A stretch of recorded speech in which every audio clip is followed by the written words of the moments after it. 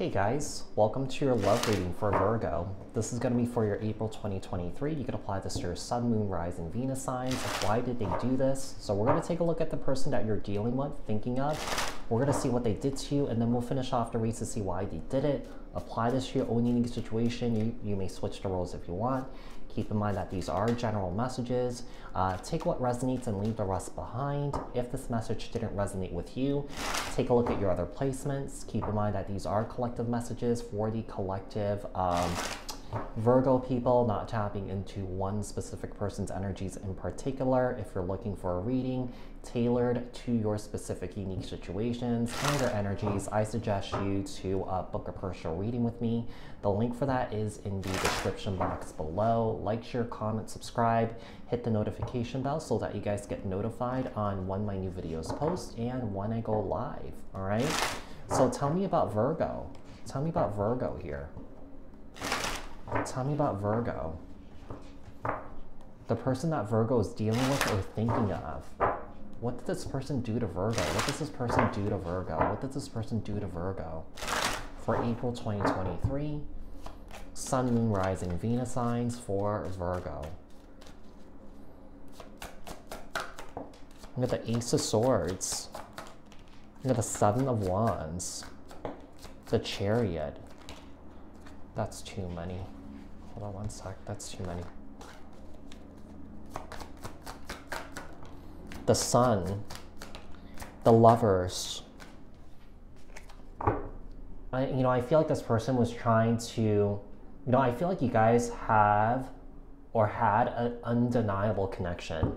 And I feel like with the Sun of Wands and the uh, Ace of Swords here, I feel like this person was trying to resist it or not accept it okay? Uh, because I feel like, you know, I do feel like in a way, I feel like your connection between you and your person was moving in the right direction here, okay? I do feel like there was happiness here. You know, I do feel like, you know, you guys were having a good time. Things were moving forward here. But for some reason, I feel like this person couldn't accept that you guys had this undeniable connection, this intense, this very intense connection here, this overwhelmingly intense connection. And I feel like it could have scared this person away or that this person never felt this way towards somebody before. And this is kind of like a new experience for this person. And I just feel like this person was, you know, just scared. Um, let's see. The Lovers, Gemini energy, the Chariot, Cancer energy, the Sun, Leo energy. Tell me about the Ace of Swords. Page of Cups, Cancer, Scorpio, Pisces. Could be dealing with the water sign here. The Sun, of Wands the Six of Pentacles here and the Justice card. You know, one, one of the things I'm getting here is I feel like, I do feel like this could also be a same-sex couple. It doesn't have to be. Um, you know, I just feel like this person had a hard time accepting the truth. I feel like, you know, when things started to get really intense or more intense, I feel like this person started to pull their energy back. Libra energy here with the Justice card, the Chariot, Seven of Cups, the Sun, and the Knight of Swords. You know, I feel like they were trying to test themselves. They started to explore other options here to see if they could find a similar connection here. So it's kind of like almost like an energy of like they were trying to replace you, but they couldn't replace you. Yeah, Knight of Swords, Libra, Aquarius, Gemini, the lovers here. With the Hierophant, Taurus energy, tell me the Ten of Wands and the Four Pentacles here. Yeah, this person definitely pulled their energy back. You guys have some sort of soul contract here, a very intense connection. I wouldn't be surprised if it was a past life soulmate connection here too. Uh, four Pentacles here. Yeah, this person was definitely trying to replace you, and I feel like this person perhaps couldn't. Yeah. Let's see. Um, why did this person do this to Virgo? Why did this person do this to Virgo for um, April 2023? Sun, Moon, Rising, Venus signs. Why did this person do this for to Virgo? Why does this person do this to Virgo? Why did this person do this to Virgo? And the Six of Cups here. Yeah, I do feel like maybe there's there's a past life soulmate connection here. Six of Pentacles. You might have known this person for a long time, but I, I just feel like, you know, I, I just feel like this person was trying to slow down the relationship or slow down the progress here. You know, one of the things I'm getting here is I feel like this person was wasting your time here too. You know, it just seems like this person was trying to push you away. Instead of like maybe telling you honestly, like, you know what, it's moving a little quick. I just want to slow this down a little bit, Virgo. Uh, this person went ahead and did, other, did other things. You know, if you're separated from this person here, I do see this coming back together here. We have the Ten of Cups.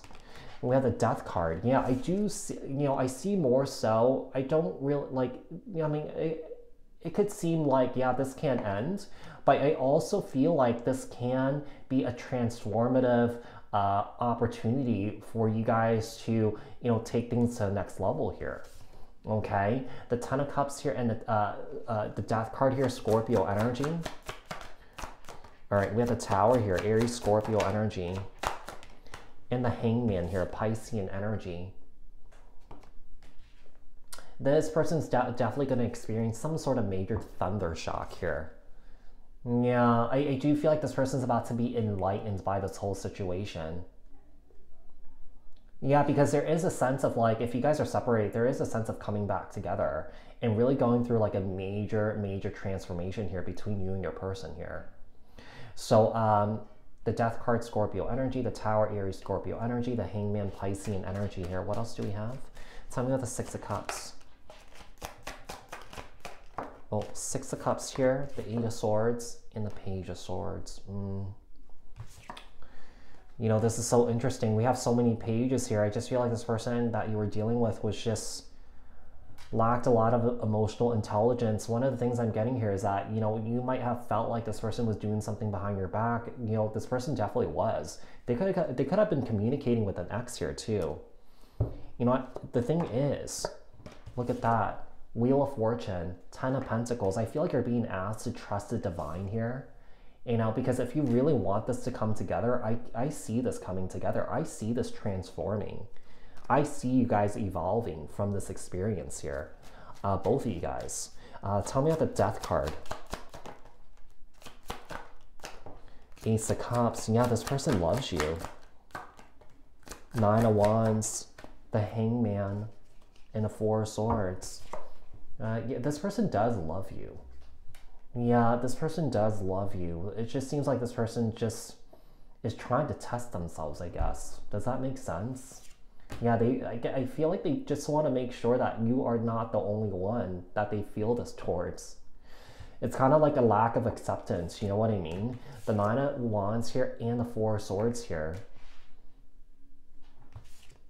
It's almost the energy of like, damn, I they like, they're, they're gonna feel like they messed this up but there is a sense of coming together. But you know, at the end of the day, you have free will. You could choose to take this person back or not. And you know, just because it's saying that you know if this can come together, it doesn't mean that you you you you you you you know you have to take this person back, right? So um, so Virgo, I hope that this was helpful. I hope that this resonated. If it did, leave a comment down in the comment section below. Like this video, share this video. Um, subscribe, hit the notification bell. I'll speak to you guys in the next one. Thanks, guys. Bye.